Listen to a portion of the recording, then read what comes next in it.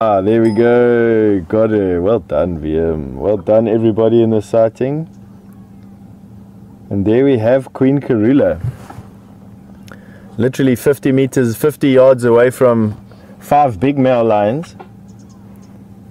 And she doesn't have a care in the world. Have a look at that. Hear the squirrel busy giving an alarm call at the moment. Wow, she is pretty.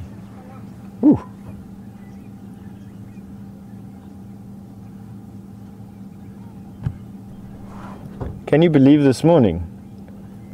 We spent the last four drives frantically searching in every direction for anything that resembles a cat, and then all of a sudden we have two different species within 50 meters of one another.